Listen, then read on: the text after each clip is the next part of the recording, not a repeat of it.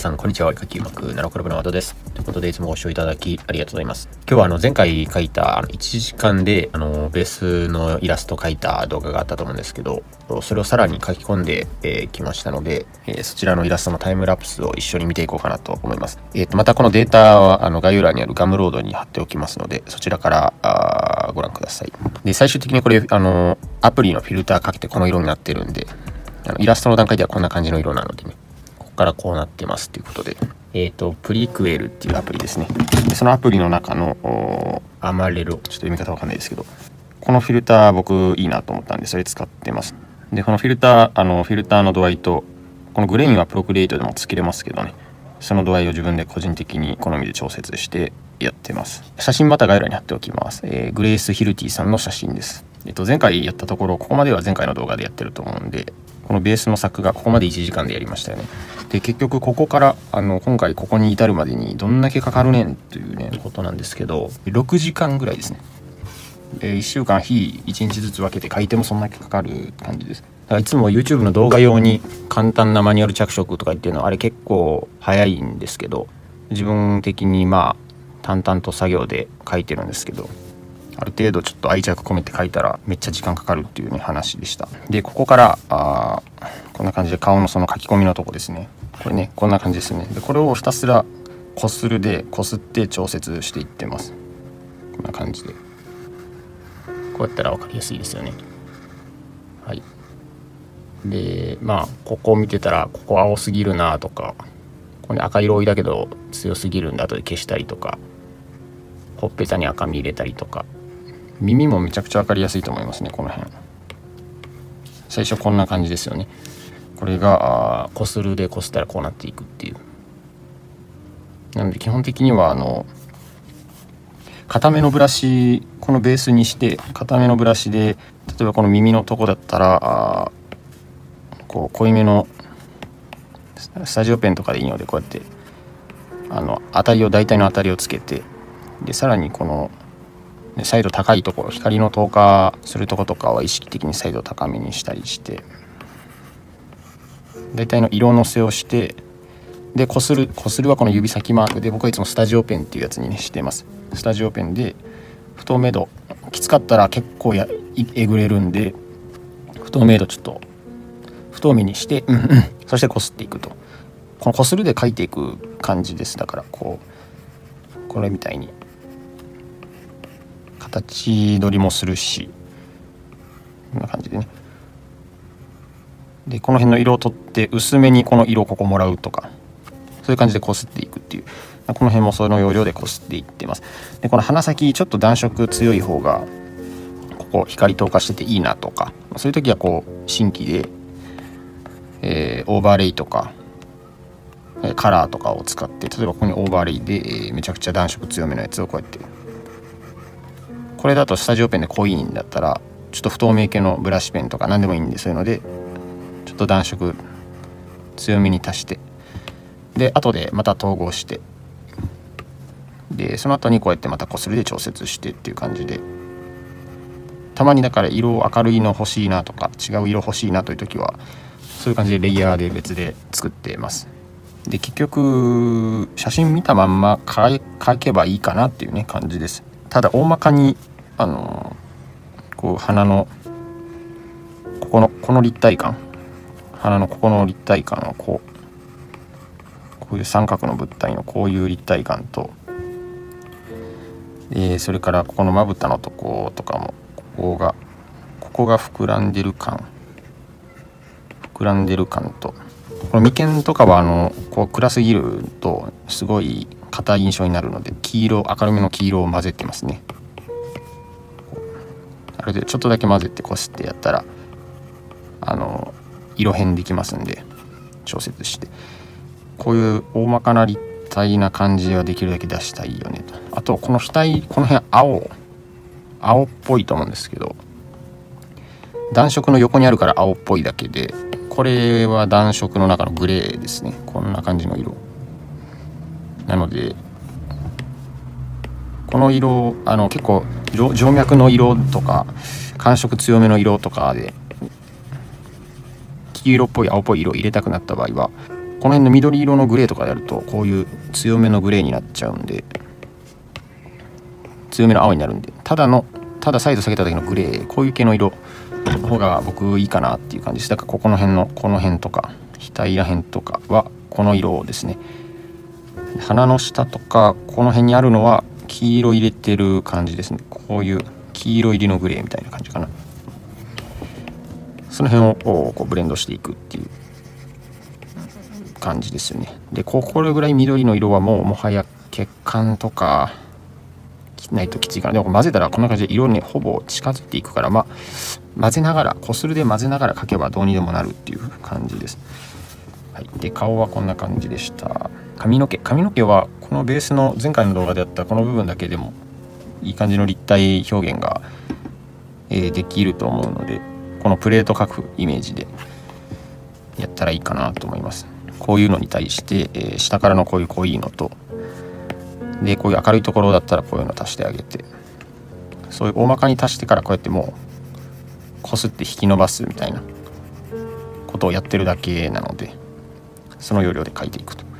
いう感じですね。はい、で顔を大体終わったら次手ですね。手はここ下の服の部分とややこしいのでレイヤー分類しました。えっとこんな感じですね。レイヤーの構造としては。だいぶ分類してます。だから手。うんとこれ手は手だけになってるんですね今回。手の下の服とかぐちゃぐちゃにしたくなかったので。手は分類しました。お花も全部葉っぱごととかに分かれてます。またあのデータガムロードからご覧いただけたらと思います、はい、で手に関してはこのベースのただの着色のやつを引き伸ばしていっただけなのでこうですねこういう変化色はもともとのやつ使ってるんですけどこの指のこっちの面はこの辺さっき言ってたこれこの辺で暖色のグレーだと思うんですよ。暖色のグレーなんですけどそこにこのサイド高めの赤。高めって言ってもここから右上に行っただけなんですけどそれ入るだけでここの指の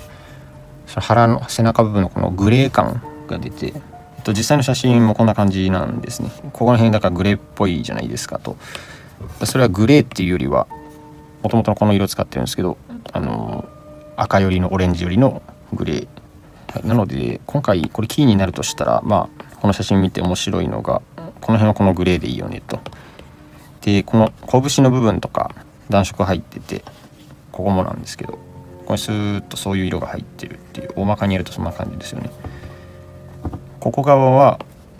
このグレーよりちょっともっと低いぐらいでもっと黄色によってもいいかなみたいな感じの色ここに入ってるなっていう感じです。でそれでこう伸ばしていく。だからまあお化粧ってこんな感じなんじゃねっていうね色配置して伸ばすっていうことをやってるだけです。だから最初のこの配置さえ合ってたらあとはまあそれなりにっぽくなるかなと思います。こするで描くだけなので。このベースの着色が終わったらですねこうちょっとサイドバッて上がると思うんですけどこの右下の方にまたオーバーレイで暖色を足してますね。なので新規レイヤーオーバーレイからちょっと濃いめの明るめのオレンジでソフトブラシとかでですねマスククリップして手の上に、まあ、手のレイヤーの上にというかこんな感じで、まあ、大げさにやるとこんな感じ。なので、えー、それで光の透過してる透明感を足したっていう感じです、えー、お花に関して、はい、お花はこんな感じになってます。まあ大きく見たらすごい雑かもしれないけどまずシルエットから多分これ選択範囲でまずシルエットを取ってますね。選択範囲でまずお花のこうシルエットを取る。大体のシルエットを取ってましてでその後にこうブラシ何でもいいんですけどこういうハーツとかレザーウッドとかそういうちょっと汚れる系のやつこういうのとかこういうのとかかな。いろんなブラシを使って汚してますね。あと大まかなこう何ていうか写真に合わせて色ムラつけてで最終的にこれ一番使って便利なのがこれですね。レトロのラドです。こういうやつ。これで濃い色入れたりとかして明るいところにも明るい色入れたりして大体のあれをつけてますこの上から暗い色取って普通にまたえー、スタジオペンじゃないなここでは多分ベジータブラシ鉛筆系のブラシでやってると思うんでこういうので、えー、こう陰影というか影影の部分入れたり枝の部分入れたりしてるっていう感じです。はい、であと葉っぱのレイヤー作ってですね新規レイヤー。はい、でえっと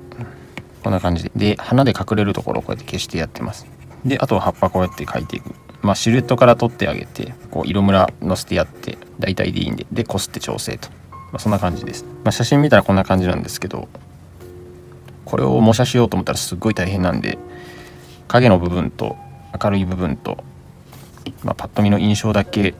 自分に合わせて描いてますねであとは腕とかもまあ同じようにやっていってますドレスのレイヤーとかは全部もう分類して描きましたねで、えー、服服はちょっとややこしくて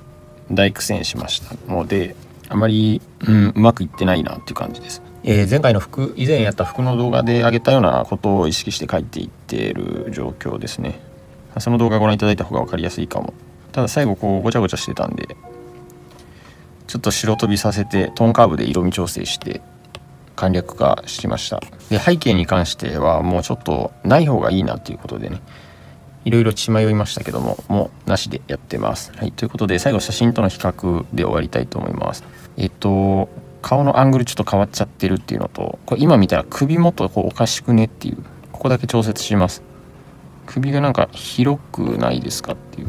ここが首元のここのエリアがちょっと広くて怖い感じがしますんで、選択範囲で選択してフリーフォームでこうやってちょっと調節します。でこするでこの途切れたところをちょっとつないでやったらいいのでもう、この辺もですね。この辺から赤い色をここの辺から引っ張ってやって。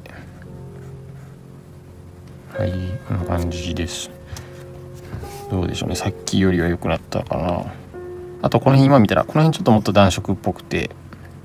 でこの辺ちょっと緑っぽい色もうちょっと黄色でいいか。青、うん、ここは結構青い感じなんで。とここはあの血管の青映ってるんでねここ。はい、で、えー、その後こすって調節します。別にこれそのまま入れてから伸ばしてあげたら馴染むんで。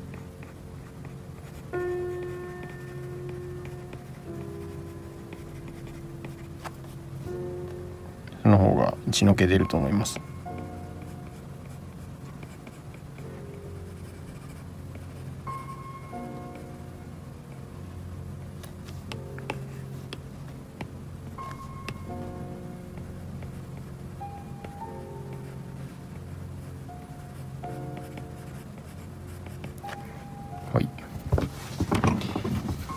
で完成。さっきとちょっと見比べますとこんな感じでフィルターもう一回かけますけど。ね首元これどうだろうな。元のままでいいのかな。ねなんか広すぎる気しますねこれ。ズボン服のドレスのところこの辺がねちょっとうまくいってないなっていう。なんかもっと形ちゃんと出てた方がいいんですけども。